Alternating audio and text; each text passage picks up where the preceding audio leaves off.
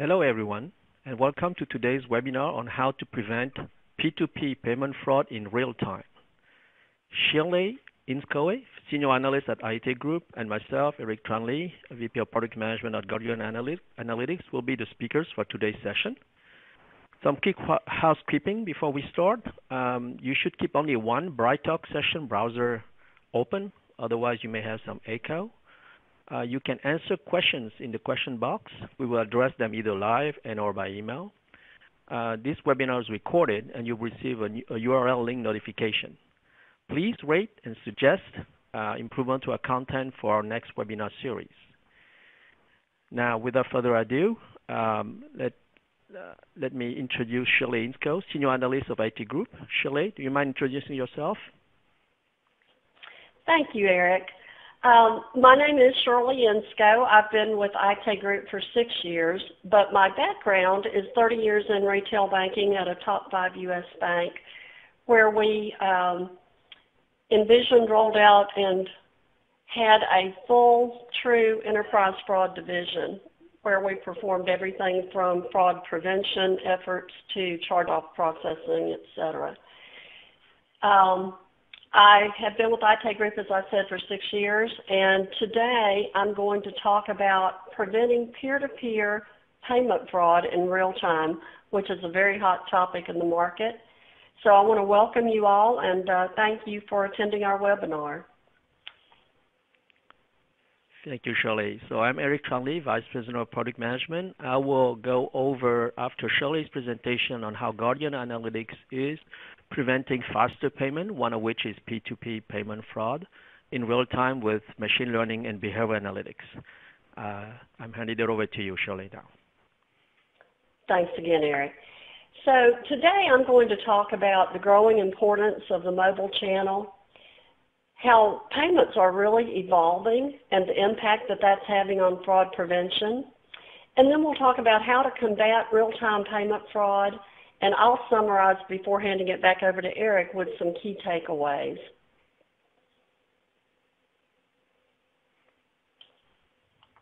We often talk about real-time payments as though they're coming someday in the future, but in reality, they've already arrived.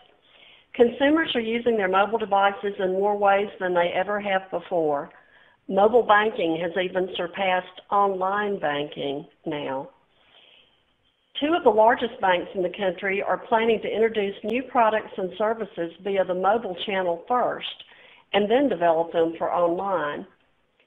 Consumers expect fast, easy, secure transactions, and they want to be able to do them regardless of where they are or what time of day it is. Using their mobile device provides that convenience. Faster payments and real-time payments are evolving to meet market demand. Of course, the fraudsters don't want to be left out. They always target new payment methods. So when a new financial institution rolls out real-time payments, um, not be a surprise when fraud uh, rings target them. It should be expected and planned for. The reality is that many financial institutions aren't prepared for real-time payments because they don't have real-time fraud pre uh, prevention or detection capabil capabilities, uh, nor do they have the ability to interdict a real-time payment before it leaves their bank or credit union. This has got to change. Looking at this slide, um, you can see that excuse me, I think I advanced two slides in error. Apologize. No, okay, I apologize for that. Um, this slide shows uh, the market demand for P2P payments. As you can see here, in 2015, over $100 billion was moved in person-to-person payments. And the projection in just a few short years by 2020 is that they will more than triple to over $316 billion. That's tremendous growth, tremendous market demand. And so it's important to recognize that if your financial institution isn't offering retail, uh, excuse me, faster payments and P2P payments, you could be at a disadvantage, particularly when it comes to attracting and retaining millennials and Generation Zers who are uh, more technologically sophisticated and want to use these types of payments. So payments are evolving and accelerating. Um, I, there are a lot of new payment types in the market, and, and new payment types continue to be introduced. I'm not going to talk about all of the ones mentioned on this slide. Uh, certainly, this is not a comprehensive list. There are lots of others. But these are a few uh, that are being used on the slide. Some of these enable um, consumers to purchase goods such as Apple Pay, Samsung Pay, Walmart Pay. Uh, others are P2P payments like um, Venmo and Zelle is another one I don't have listed here. Um, the point is that there are a lot of different ones, and so uh, in addition to the payment capability, we're seeing far and uh, wide acceptance more than ever before of cryptocurrencies in the market. They really are becoming mainstream. I guess with Bitcoin being the kind of the grandfather of all the uh, cryptocurrencies, but others are coming uh, to the market and gaining popularity rapidly, and many consumers are choosing to invest in these. So in addition to the multitude of new types of payments, the, uh, the speed of payments is also accelerating. Just last September, NACHA introduced same-day ACH. Zelle is a, uh, a real-time P2P payment that I mentioned earlier. It enables people to transfer funds to another person in real time. And if the uh, consumer's financial institution doesn't offer Zelle, it's not a problem. They can just go to uh, the App Store and download it and use it via the app. There does have to be a participating financial institution on one end of the transaction, though. So either the financial institution sending the money or receiving the money has to be a Zelle participant.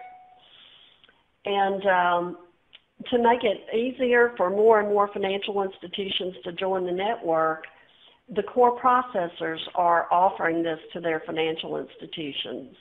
So FIS, Fiserv, Jack Henry, they're all uh, they've all partnered with Early Warning to offer Zelle. On the uh, business side, the clearinghouse's real-time payments uh, launched last December.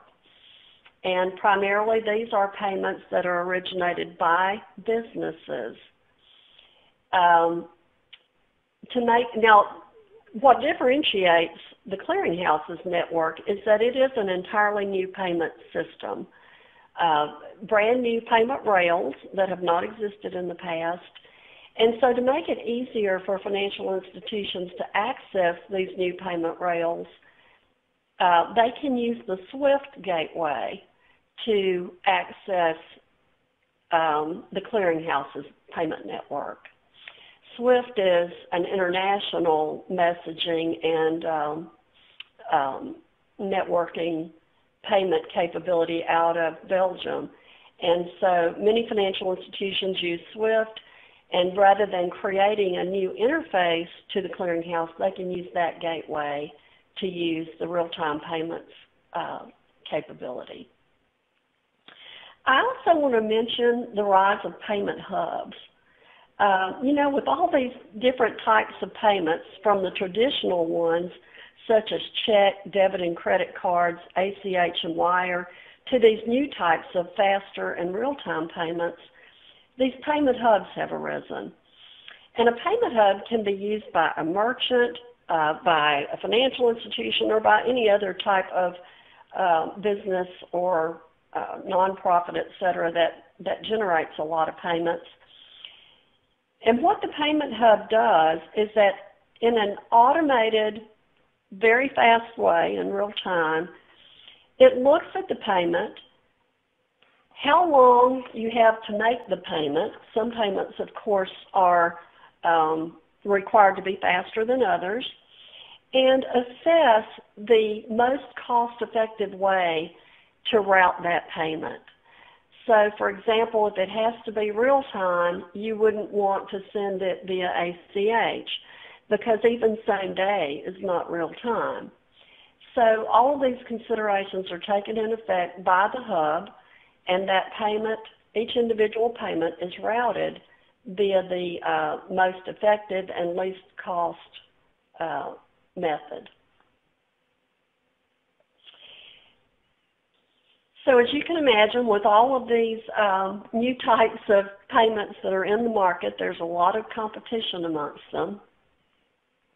This chart shows some of the most successful types of faster payments currently in the market and breaks them down uh, as to whether they're primarily being used for business to consumer payments or business to business payments or both, such as the ones where the circles intersect. Uh, so Popmoney, Zelle, and Square can be used for uh, any of those types of payments. An article I read earlier this week stated that they believe Zelle will overcome Venmo in 2018 in terms of both numbers of transactions as well as dollars moved. I think that's pretty significant because Zelle is so new to market. And hopefully, um, if you're a banker or if you work in a financial institution, hopefully that means that consumers have more confidence in a payment that is offered by their financial institution than by one that is not.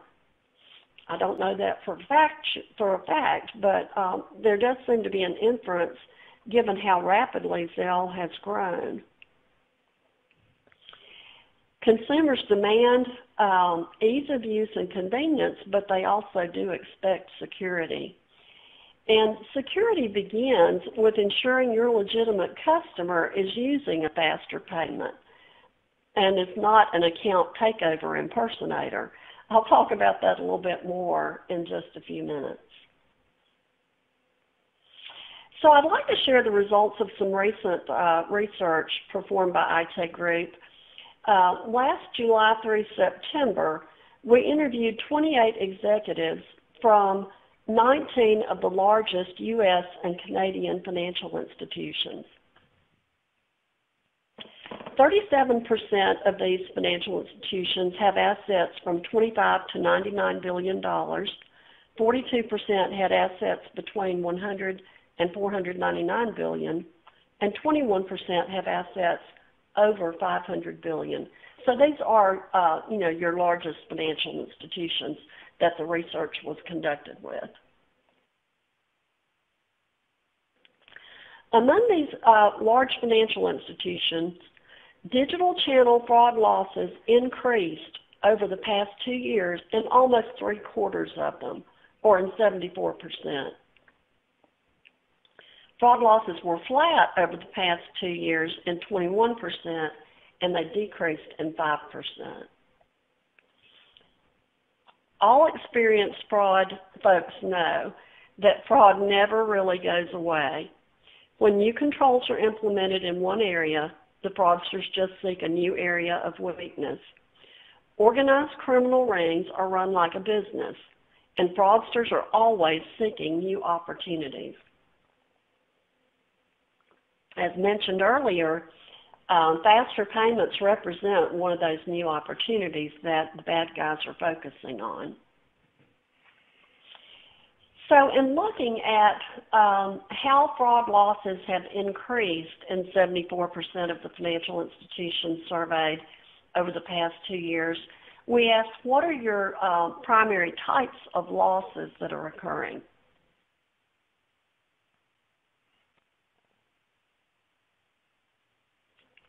Fraudsters are using a lot of different tactics to steal money. Um, the number one reason for loss is account takeover in the online and, and uh, mobile channels. on, uh, uh, excuse me, account takeover occurs when a non-authorized user gains access to a customer's account. This can happen in a lot of different ways. For example, an impersonator can contact the call center of the financial institution over and over again until they're successful in impersonating the customer. And at that point, they may ask that the online credentials be reset. Another common way is um, using the um, compromised username password combinations from numerous data breaches and using bots to just try those online credentials at a wide number of financial institution websites until they find one where they work. That takes very little effort because the automated bots are doing all the work. Of course, you can also use, or they can also use malware such as keystroke loggers or man-in-the-middle attacks. I mean, I literally could go on and on about all the different ways account takeover can happen, but the, the important point is that it is the number one problem in the online and mobile channels. Second is application or new account fraud.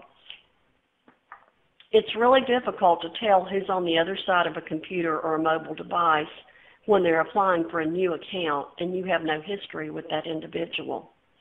Identity theft and the use of synthetic or manufactured identities has skyrocketed.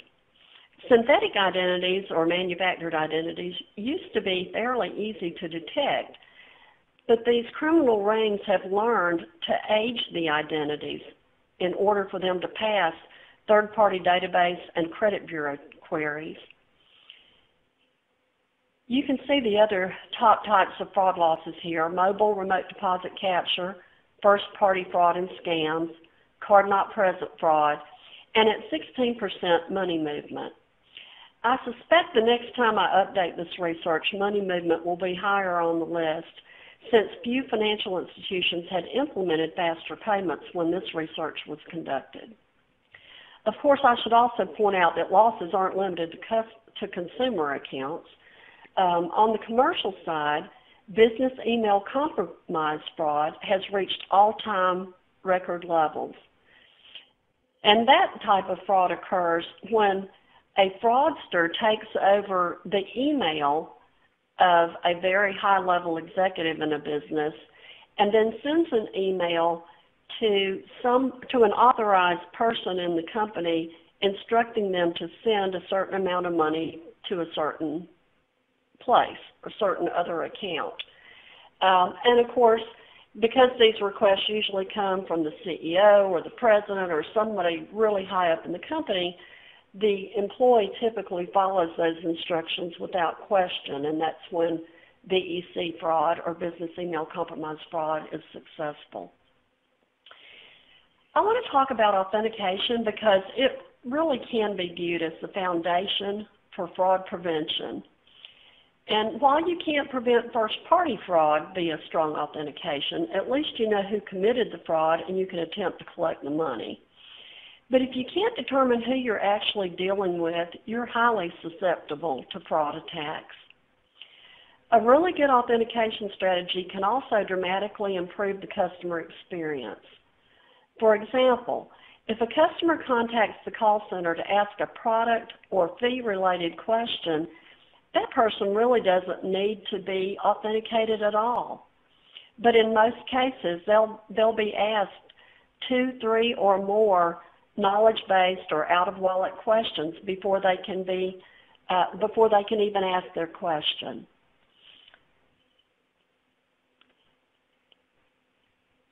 The level of authentication required really should be tied to the level of risk of a specific transaction. This is commonly called orchestrating authentication. So it's not a one-size-fits-all. It's literally looking at the risk of the transaction that is to be conducted and assessing what level of authentication is necessary here and tailoring that authentication. Doing this will dramatically improve the customer experience and still allow the financial institution to authenticate when and to the level needed. I think that's really important. And in this research, I learned that over two-thirds of the financial institutions are currently doing this to some degree or they're planning to.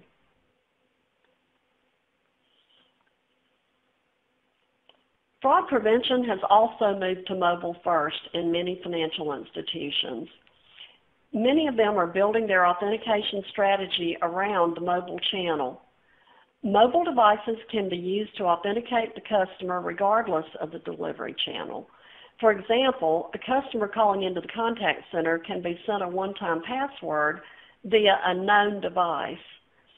The one-time password is given to the contact center agent and the time to pose multiple KBA or knowledge-based authentication questions is avoided. The customer's need is met much faster with less aggravation. Of course, if the customer wants a high-risk transaction, stepped-up authentication can still be used. Mobile devices offer a lot of information that can be used to help determine whether the customer is who they claim to be. The mobile device itself is one identifier, and it can be associated with a digital persona. Biometric features on a mobile device, such as fingerprint or facial recognition, can be used for authentication or to authorize a payment. The geolocation can be especially helpful in account takeover situations where transactions from multiple locations are initiated. Mobile network provide, uh, excuse me, mobile, mobile network operator data can help overcome security concerns related to SMS text messages, and behavioral biometrics are especially good at detecting human versus machine behavior and activity that differs from the customer's typical profile.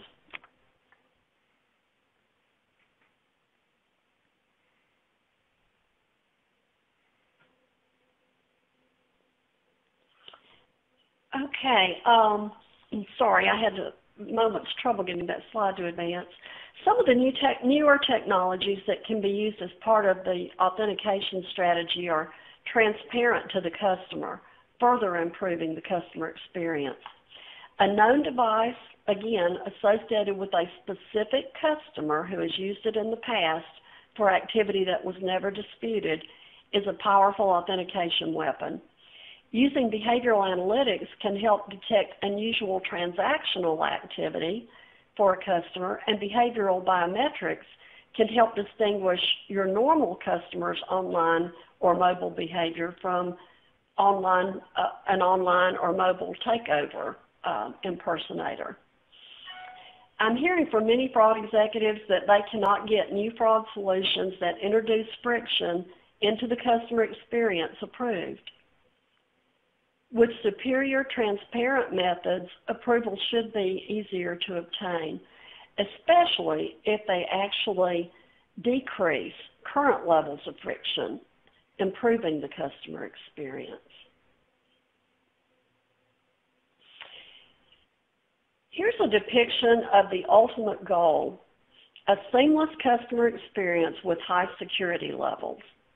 This chart shows high friction methods on the left moving up to very low or no friction methods on the right. The three shades of blue depict high, medium, and low levels of security provided by each method. So as discussed before, behavioral biometrics, behavioral analytics, and device identity are superior weapons in fighting fraud that have no negative customer impact. Very high friction methods, such as hard tokens and knowledge-based authentication questions, are being eliminated or their usage is being dramatically reduced in many financial institutions. I encourage each of you to look at all of the different tools you're currently using and see where they fall on this chart. Consider how you can improve security and the customer experience at the same time by replacing some older methods you're using with newer or improved technologies. Of course, there's no silver bullets. Nothing has ever been devised that is 100% foolproof, So layers of security will always be important. Make full use of internal data. One example is data from your information security groups. The data they have related to hacking and probing attacks may provide intelligence that you can use to combat an impending fraud attack. Using such data can help you be prepared to defend against the attack when it's launched. Examine login security. Outdated static username and password combinations are of little value from a security perspective. Biometrics are gaining a lot of traction in the market and are more and more acceptable to consumers, especially if they're stored on the mobile device. Consider the transparent solutions if you aren't currently using them. And last, consider methods for stepped-up authentication for high-risk activity. It's important that the, uh, the stepped-up authentication measures you use be especially strong methods. So, for example, with KBA, and I don't mean to pick on KBA, but it's um, it just cries out to be picked upon. Uh, if you're just using um, knowledge-based authentication questions alone, in former research, I've had um, many executives tell me that up to 15% of their legitimate customers cannot answer the questions, while the fraudster will just keep trying over and over again until they get questions they have the answers to. So that's not very um, encouraging to think of that being used in a stepped up authentication um, where high risk is uh, present. So if you don't hear anything else I say today, please hear this. If you don't currently have real-time uh, fraud detection and the ability to interdict transactions in real time before they leave your financial institution, your methods of combating fraud are outdated. Start now to build a business case to move your fraud prevention efforts into the current environment. On that note, it's important to consider, or excuse me, it's important to educate executive management that business cases for fraud prevention must also change. Historically, um, the way to build a business case for a new fraud prevention or authentication method was to take existing losses as the primary factor in your business case. But if you think about that for a minute, it's not very practical. For example, if you implement real-time payments or faster payments in your organization without already having fraud detection and transaction interdiction capabilities, the fraudsters are going to know this. They talk to each other, they're organized, and they're going to tell all their bad guy friends that you don't have the proper protections in place and your financial institution will become a major target. So if you start then accumulating loss numbers, it won't take you long to have enough for a business case. The problem comes in that the committee to hear business cases may not meet for a few months. And even after you gain approval for your business case, you still have to identify the, the right solution for you and have an implementation project. During all of that time, you're continuing to be attacked and continuing literally to bleed funds. So um, educating executive management about the need for protection before you implement faster payments and the ability to improve the customer experience is a really important step. Machine learning models are tremendous in fighting fraud because not only do they continuously improve based on the feedback, but they also can help really reduce false positives that some of the older historical systems generate. Um, regulators tend to prefer supervised models. Um, they are not very familiar with machine learning and can be critical it's important that you be able to explain the models you use, particularly in the AML area, even more so than in fraud. In the AML area, the regulators are really worried that a model might miss an alert that would have been detected previously. And in the fraud area, they're more concerned about the potential for disparate uh, treatment, perhaps unintended disparate treatment, but nonetheless, they're going to want to make sure the model isn't leading to that. So if you're not familiar with your institution's payment windows, you know, for ACH, for wire transfer, etc., familiarize yourself with those payment windows.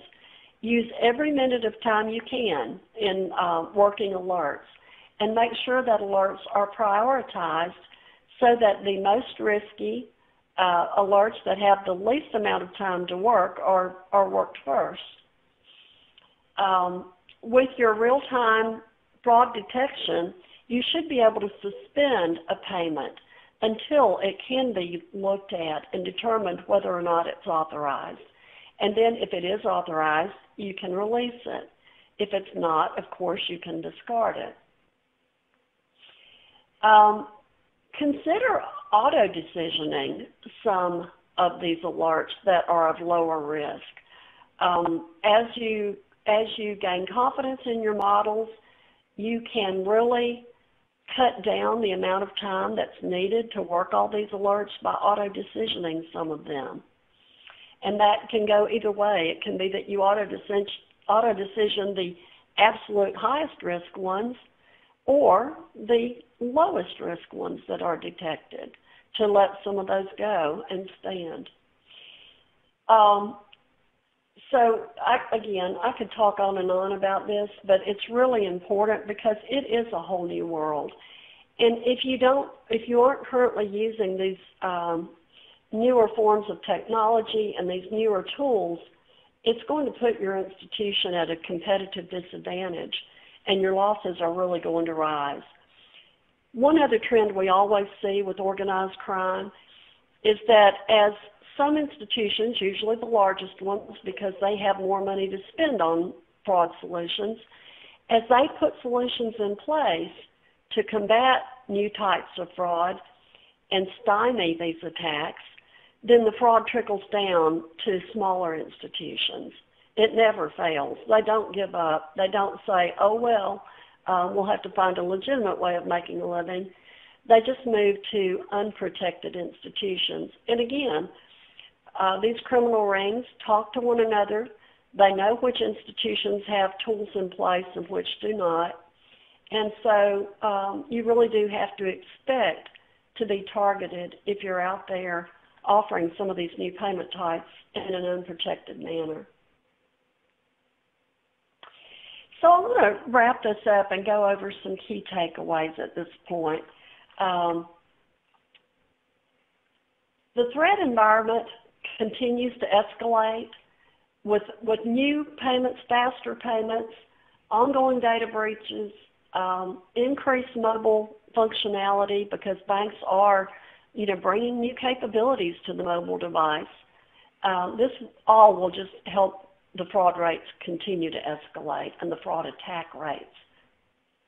The mobile device can be a big tool in combating fraud, taking advantage of that mobile device and all the other uh, ancillary opportunities is important. You have to have sound strategies in place before you implement real-time payments or your fraud will absolutely mushroom. Ensure your fraud processes are adaptable.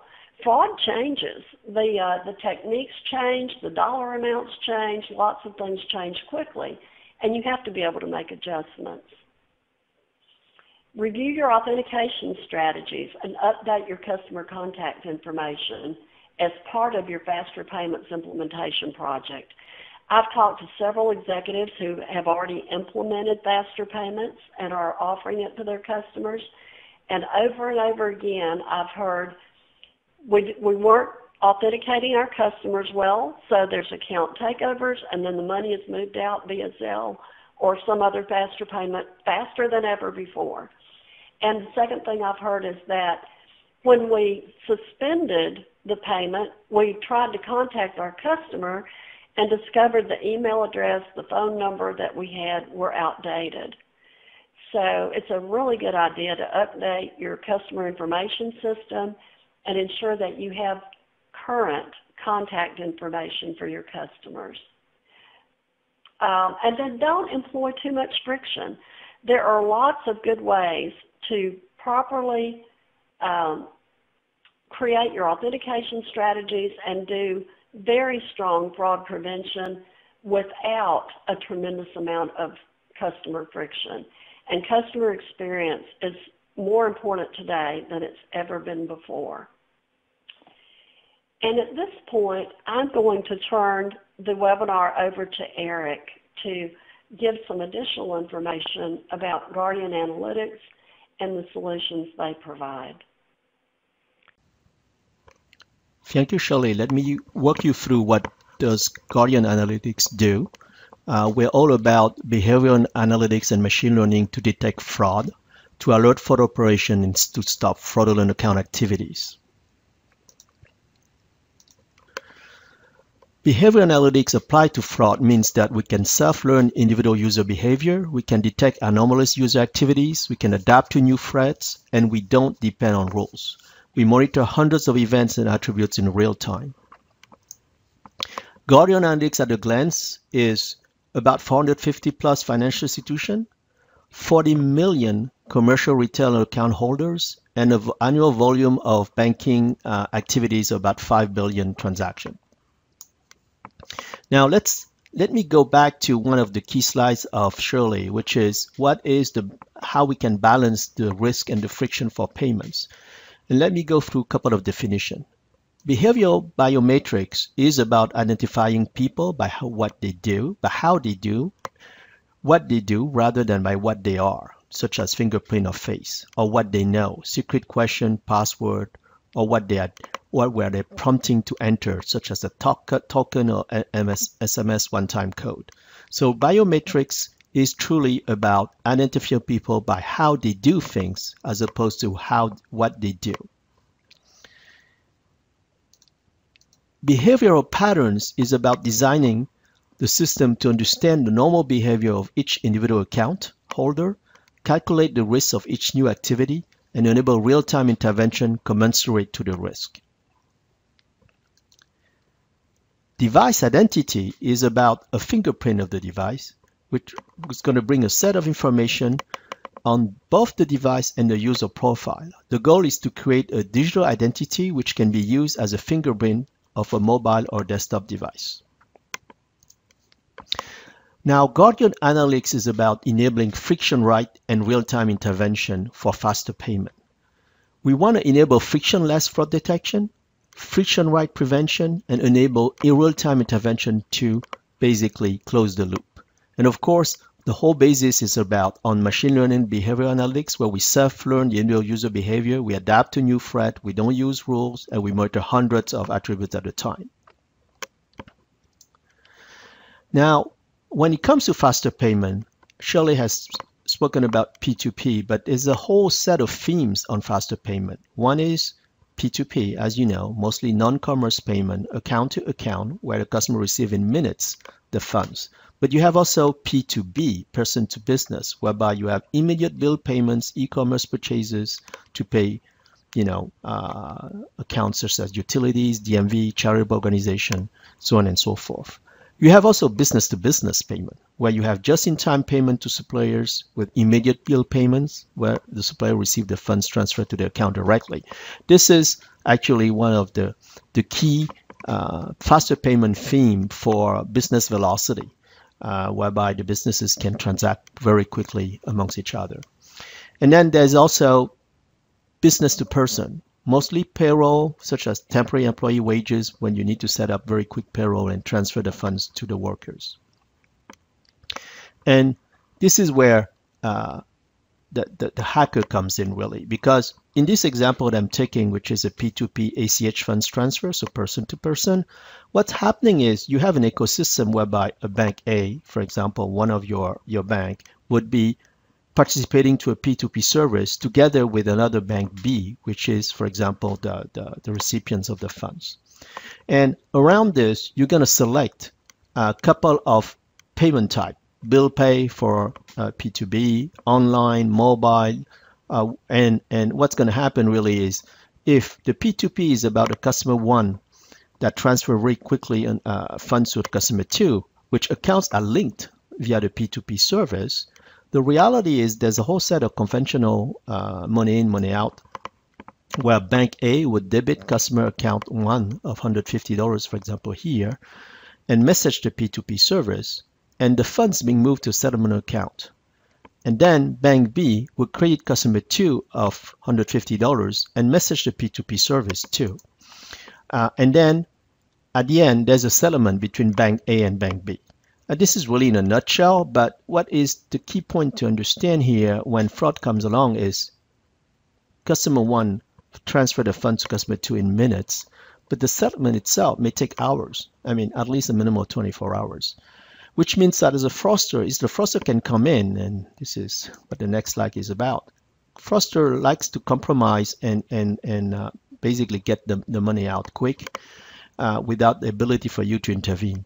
So they would compromise on various fronts. Uh, for P2P, anything that uses mobile and online, obviously allowing account, online account takeover, device account takeover, especially after Equifax breach. There's a lot of uh, personal accounts and business accounts that are actually in, on the dark web uh, that, get, that could take over.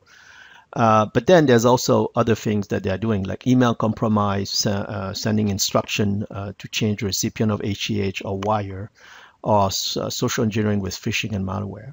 These are all the methods of compromise that you can see they're almost limitless. So for us to protect you, Guardian Analytics has a couple of layers. There's at least three layers that we uh, categorize under frictionless that basically enable to stop online account takeover uh, and, and, detect device account takeover. Uh, we proceed with device fingerprinting, and I'm going to talk about it in a second. Then we have another layer around authentication and logging risk model. We have another layer around account activity, like you know, creation of account, deleting of account, changing of passwords. And th those external models that works with behavior analytics and machine learning protects you in a frictionless manner around uh, uh, on account takeover. And then from the inside, we have payment models, risk models that applies to any transaction that happens to go through because you know the smarter hacker and fraudster would actually go by this and and will go and start to change uh, recipient and transaction or, or, or, you know any other kind of uh, fraudulent activity. We would detect them. Either they are doing a, a, a recipient change or an ACH batch manipulation here a wire manipulation uh, we will also distinguish bill pay events here to uh, understand uh, if there's any deviation. And we also have online and mobile risk model, as well as P2P transfer risk model. The key thing here, as you can see, is looks like a hub because you can have multiple channels coming in. You can actually have multiple ACH channel for that, for that matter. But we, you have a uniform way to measure the fraud, so your fraud detection team can react, and you can real-time intervene. In other words, the machine learning behavioral analytics will let go, will let through all the, the legit transaction in a frictionless manner, but will hold the fraudulent ones for your team to go and intervene. In other words, your fraud team can, in a multi-channel fashion, uh, work only on what matters the most to them. And this is the concept of friction right and real-time intervention, whereby you can intervene on it, but via API, you could send out the risk score to a cybersecurity layer, for example, for them to basically, uh, you know, uh, increase the, the friction in terms of uh, MFA or, or asking more questions instead of a password. But they would do it afterwards as opposed to right now they're doing from the get-go. This is these are the kind of use case uh, we have right now at Guardian Analytics. Uh, as you can see, there's all kind of platform we have from wire to ACH, from P2B and P2P, such as bill pay, P2P transfer, account to account transfer from from Fiserv.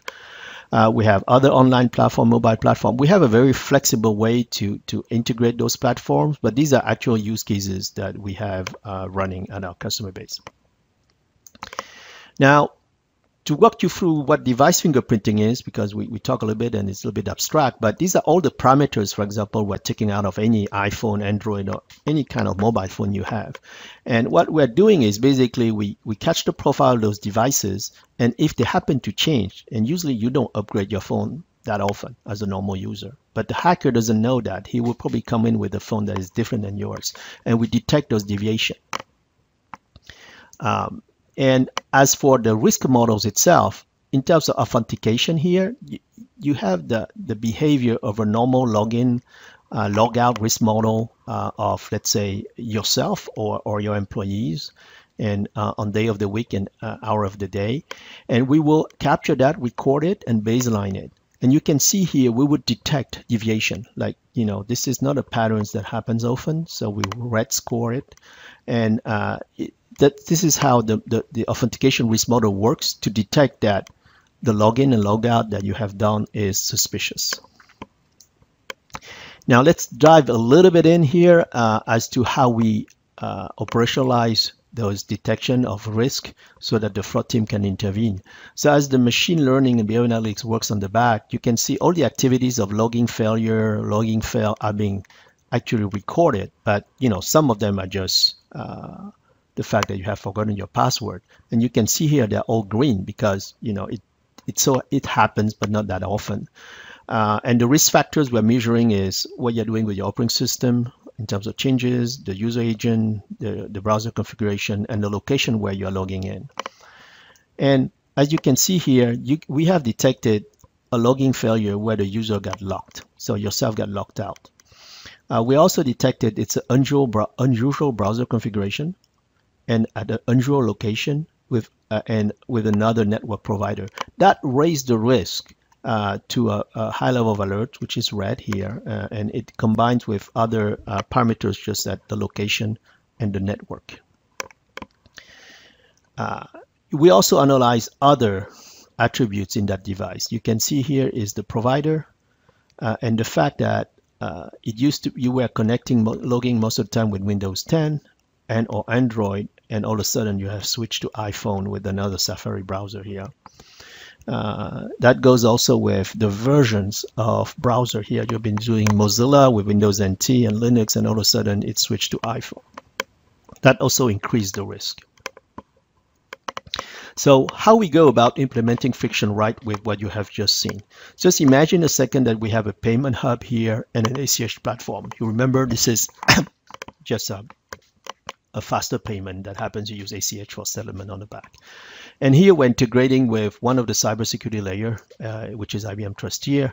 You have a logging time customer. And let's say, imagine that the fraudster has stolen his credential and able to get in. At that point, there's a couple of things that happen. Um, Trusteer would alert that, you know, there's a, there's a denial of access here. And what happened is we're capturing it. We have a device fingerprinting that say there has been an MFA first time around where the, the, the cybersecurity tool has uh, sent out uh, a multi-factor authentication saying, please give us more information. And what's happening is if the fraudster happens to breach that, which he may, because with uh, ATO and uh, Equifax, he would have uh, the other uh, credential to get in. We will detect if he's doing any fraudulent activity on the ACH batch itself, like manipulating those NACHA files.